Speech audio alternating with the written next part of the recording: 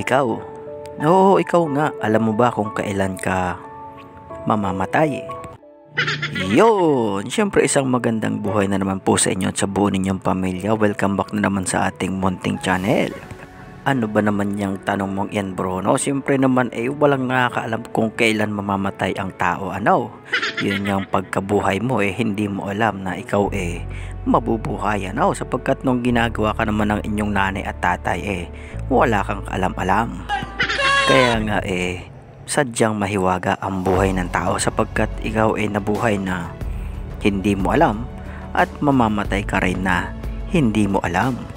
Ika nga eh, ang kamatayan eh katulad ng pagdating ng magnanakaw. Hindi mo alam kung kailan ito aatake sa inyo. Kaya naman sa bidyong ito ay eh, pag-uusapan natin ang sinyales, signal, hudyat na maaring mamamatay ka na o malapit ka nang mamatay. Pero bago ako magpatuloy kung bago ka lang dito sa aking munting channel at hindi ka pa nakasubscribe eh, huwag ka nang mahiya no, pindutin mo na ang subscribe button at notification bell para lagi ka ring updated sa mga bagong video na aking ina-upload. So ang una eh kapag ikaw ay nagkakaedad na o syempre ay tanggapin mo na na ikaw ay mamamatay ano lahat naman ng tao eh doon ang punta kapag ikaw ay nagkakaedad na eh alam mo na iyan magsisi ka na sa mga kasalanan mong nagawa nung kalakasan mo pa at sa mga taong may kasalanan ka eh humingi ka ng tawad at magpatawad ka nang sa ganon ikaw eh makarating sa kaharian ng langit. Ano, kung ikaw ay patatawarin din ng Panginoon, magbalik loob ka sa Panginoon Diyos.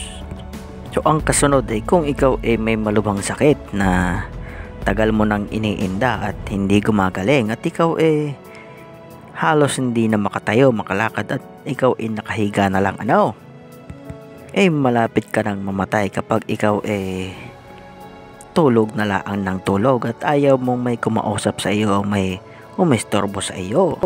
At paggising ka naman ay may tinuturo kang mga kaibigan mo, kamag-anak na nauna nang namatay sa iyo. Na pinapayapay ka at isinasama ka na nang hindi ka na maghirap diyan ng todo. Subalit ang mga iyon eh hindi naman nakikita ng mga taong buhay na nagbabantay sa iyo. So ang sign na ito ay eh, sa mga taong may mga sakit lang at saka eh, may matanda na na subalit mayroong sinyales na maaring mamamatay ka na na hindi mo alam kahit na ikaw ay walang sakit.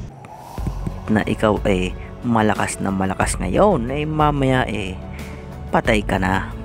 So ano ito? Ito yung kapag ikaw eh nakita ng ibang tao na wala kang ulo So hindi lahat ng tao na makakasalubong mo sa araw na yon ay makikita ka na wala kang ulo. Mayroon lang dong isang tao o yung iilan na may bukas ang ikatlong mata na maaring makakita na wala kang ulo.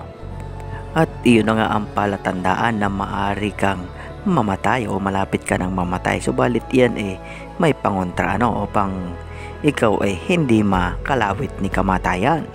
So kapag sinabihan ka ng tao o ng kaibigan mo o kung sino man na magsabi na Oy kuya, ate, o nanay, tatay, ikaw ay nakita ko na wala ka hong ulo. Nako ay eh, ikaw ay umuwi agad sa inyo.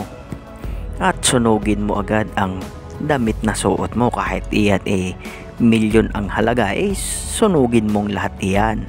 O kaya naman eh ibaon mo agad yan sa hukay. Iyan yung kapalit ng kaluluwa mo na sana eh kukunin na ni kamatayan. Magsuot ka rin ng sombrero at diyan ka sa bahay mo, mamalagi ka laang diyan ano, huwag ka munang lalabas. Kahit yayain ka ng mga tropa mo barkada mo sa inuman, nako, eh, tanggihan mo muna ano. Kapag ikaw ay eh, sumama doon, eh maaring mapahama ka. Ang iba naman eh nagsusunog ng butike at iyon nga ang kapalit ng kaluluwa mo. Pwede rin na magtalokbong ka muna ng itim na tela upang ikaw ay hindi makita ni kamatayan. At sa mga nakakakita naman diyan ng mga taong naglalakad na walang ulo, nako eh, maawa naman kayo ano, tapikin ninyo O, gulatin ninyo at sabihin ninyo, Oy, nawawala ang ulo mo. Nang sa ganon ay makontra yung gagawing pagkalawit sa kanya ni kamatayan. Pinapayuhan din na maligo. Maligo yung taong nakitahan na walang ulo ano maligo. At nang mawala yung sumpa. So pag siyempre pagkaligo mo eh magpapalit ka na ng bagong damit. Ano, yun eh mawawala na ang sumpa sa iyo ng kamatayan. Subalit ganun pa rin ha, yung damit na hinubad mo eh, mapamamahalin nga yan o mumurahin eh, sunugin mo na. Huwag ka nang manghinayang kaysa naman sa buhay mo ang mawala. Makakabili ka pa naman ng mas magagandang damit kaysa diyan. Kaysa naman sa ikaw eh, paglalamayan. Ganon din naman kapag ikaw eh nagsalamin at nakita ng ibang tao na wala kang ang refleksyon yung ulo mo sa salamin, eh, isang palatandaan yan. Ganon din naman kapag ikaw eh, naglalakad sa katrika ng araw at wala kang anino o nakita ng ibang tao na walang anino o walang ulo yung anino mo, yan ay palatandaan din. Ganon din naman kapag ikaw ay kinuhaan ng litrato o sa pag selfie selfie ninyo eh wala kang ulo eh alam mo na yan iyan ay palatandaan na malapit ka nang mamatay kahit naman na ikaw ay malakas na malakas at walang karamdaman. So maraming pwedeng mangyari, maaring ikaw ay naglalakad lang at ikaw ay nasa gasaan ng bike, nako ay patay. O kaya naman ay maaksidente ka ng kung ano-ano, limbawa ang sinasakyan ninyo eh madisgrasya eh patay ka rin. O kaya naman eh habang ikaw ay eh, natutulog at ikaw eh minamalas-malas nga at nabagsakan ka ng eroplano, nakaw ay siguradong ikaw eh patay. O kaya naman eh matatamaan ka ng ligaw na bala, matatamaan ka ng kidlat, mababagsakan ka ng kung ano-anong mabibigat na debris, at kung ano-ano pang sanhi ng kamatayan na ikagugulat ng marami. Subalit kung alam mo ang sekretong ito, eh madadagdagan pa ng ilang siglo ang buhay mo. So ayun mainam na alam ninyo kung kailan kayo mamamatay at nang sa ganun nga eh makapagsisi kayo, may, makahingi kayo ng tawad sa Panginoong Diyos at kayo eh patawarin din naman. At nang sa ganun eh mapabilang din kayo sa mga kaluluwang nandun sa kanyang kaharian na nag-aawitan sa kanyang harapan. So ayun, shoutout ho muna tayo. Shoutout sa iyo Nadi Ambrosio ng London at Kuya Bert Video. Maaari nyo rin ho siyang bisitahin sa kanyang channel at siya ay nag-upload din ng iba't ibang ori ng mga videos.